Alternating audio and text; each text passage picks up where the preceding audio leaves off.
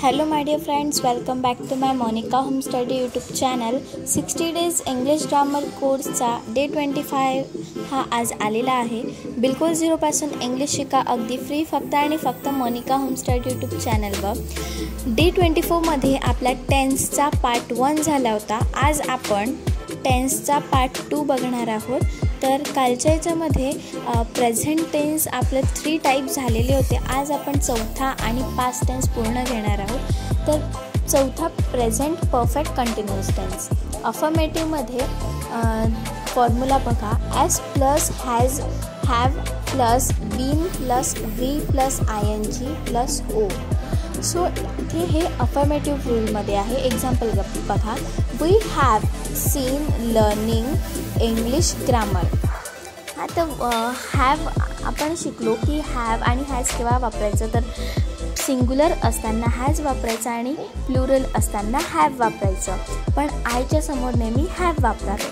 तर वी आहे हा प्लुरल आहे तर त्याच्यामध्ये हॅव वापरलेला आहे आणि मग बीन लर्न हे वर्ब आहे त्याला आय एन जी अटॅच केलेलं आहे लर्निंग आणि ऑब्जेक्ट इंग्लिश ग्रामर तसंच खालचं he has been playing cricket for ten year म्हणजे हीसाठी हॅज यूज केलेला आहे ही इज सिंग्युलर निगेटिव्हमध्ये बघा and S plus has have plus not plus been plus V one plus I N G plus O म्हणजे not लावायचं आहे निगेटिव्हमध्ये we have not been learning English grammar second sentence he has not been playing cricket for ten years इंट्रॉगेटिव्हमध्ये has have plus S plus been plus V plus I N G plus O इथे असं जर subject हा singular असेल तर स्टा वाक्याची सुरुवात हॅजने करावी आणि सब्जेक्ट जर प्लुरल असेल तर वाक्याची सुरुवात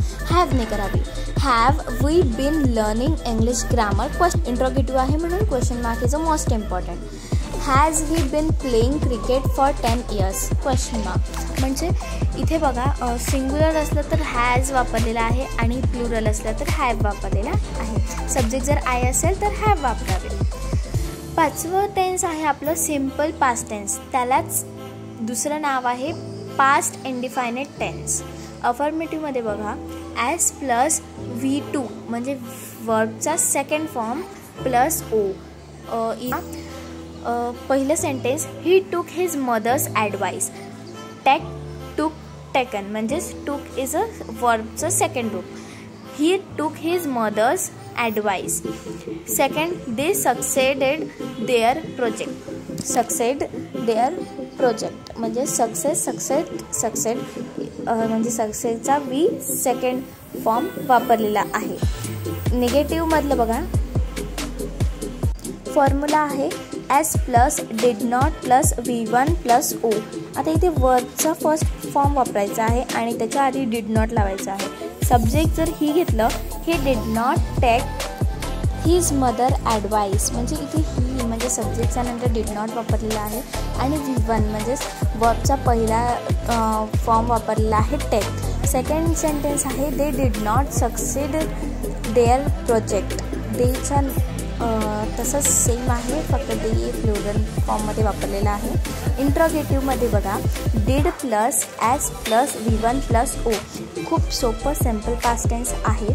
Did he take his mother's advice question mark did they succeed their project question mark so इथे डेटचाच वापर आहे इथे डज नाही आहे किंवा डूसुद्धा नाही आहे तर हा simple past tense is very easy आणि हे विस लावायला विसरू नका की इंट्रॉगेटिव्हमध्ये जर तुम्ही क्वेश्चन मार्क लावला नाही तर तुमचे मार्क्स एक्झाममध्ये कटतात.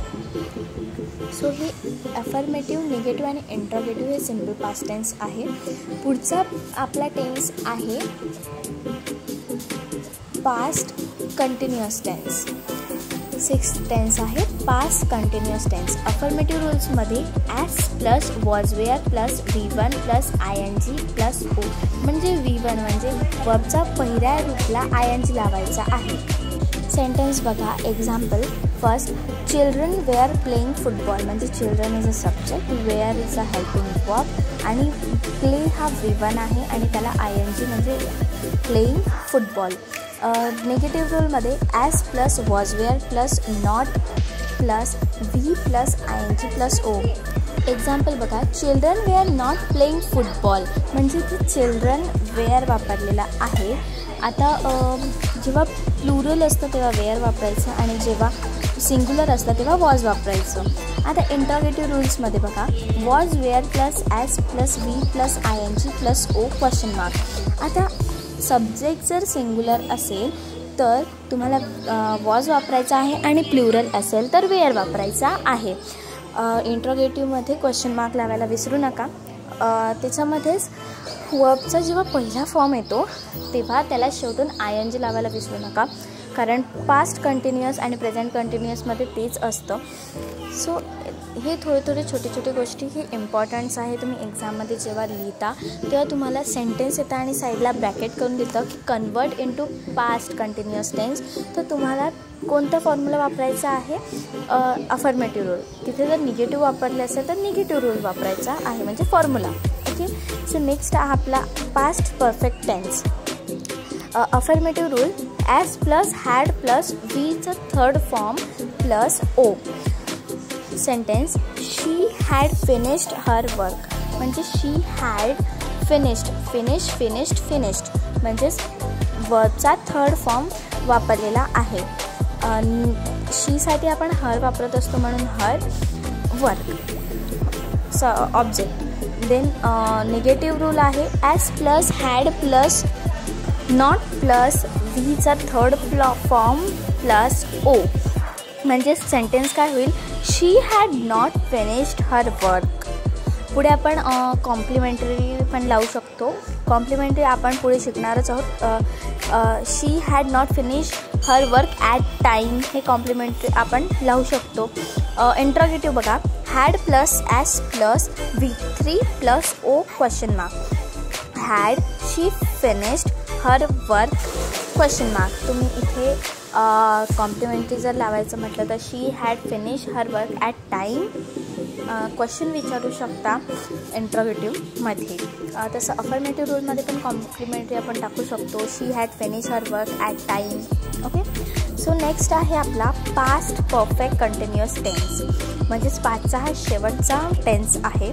Affirmative S plus had plus been plus V plus I N G plus O we had been learning English grammar म्हणजेच we had been learning English grammar we subject had is helping work been वापरलेला आहे.